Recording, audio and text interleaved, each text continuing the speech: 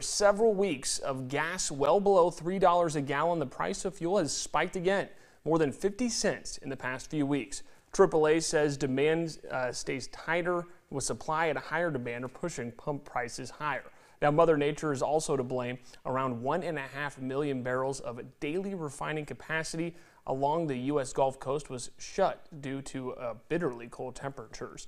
Now, production losses are not expected to last. Drivers could continue to see pump prices increase as the new year begins.